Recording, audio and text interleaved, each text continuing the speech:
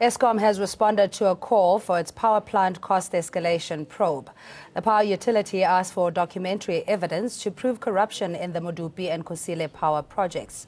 Decolonization Foundation founder Mzwanele Manyi filed a complaint with the public protector alleging lack of oversight by Treasury, resulting in over 100 billion rand loss to Eskom.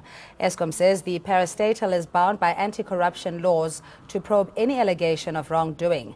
The power utility adds that allegations of corruption have been made in the past, but no proof of corruption has been forwarded all our contracts within Eskom, whether they are for coal or for the supply of uh, milk within the, the business, all of them are above board.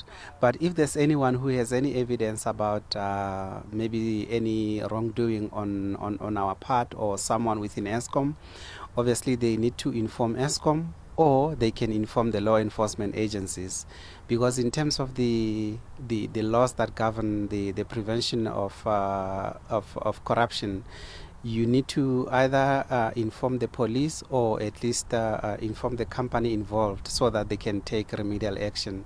So far, we haven't uh, seen or heard from anyone about anything in relation to our new build programs. And uh, but if there's anyone with uh, any information that we may not be aware of, they are welcome to approach the police to lay a charge. Well, generally, big projects uh, such as uh, Medupi, Kusile, Ingula, and uh, others which are outside of Eskom, like uh, the Train, for example, people always make allegations about cost escalations, and they also claim that uh, there are people who are doing certain things which are sort of wrong or essentially uh, co corrupt activities. But we are saying the law is very clear on this matter in terms of the prevention and combating of corrupt Activities Act, you just simply go to the police with information so that police can take action against those individuals.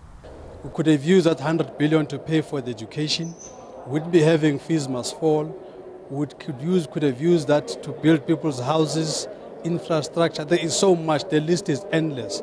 That uh, there is, it would be totally irresponsible for anyone in this country not to do an investigation on this 100 billion. So if we don't get uh, uh, an excite, uh, if we don't get a response from anyone, as it were in this country, to, that does not want this probe, then you must know that that person is corrupt. You know, failure not to uh, deal with this 100 billion is actually an indication of uh, ingrained corruption uh, from anyone that does not want to probe it. The same information that we gave to the public protector is very clear. It's all public information, by the way. There's no nothing hidden. We'll prepare that submission, and as of tomorrow, uh, Eskom is going to have that information, uh, and will lodge a formal request first thing tomorrow with Eskom to be able to do the forensic audit. We are very happy uh, that uh, uh, Eskom uh, is willing to look at it subject to being given tangible information. We will be giving Eskom tangible information, and we hope that uh, they will uh, implement the forensic audit to get to the bottom of what happened to the 100 billion.